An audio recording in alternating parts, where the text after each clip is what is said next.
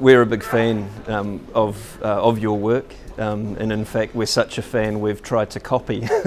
we've tried to do the same thing, and I think that there's a, a lot of ways that, that, that um, NGOs can use social media and new media to get their message across. So, you know, agencies can write big, fat policy documents but the public can't engage with that. The way that you engage the public is in, is in getting clear messages across through video advocacy, um, through media style or journalistic style um, magazines, through blogs and through other ways. And I think that's how we bring the evidence base to the public. And I think it's an extremely important work and I'm hoping that more people will, will do the kind of work that you do.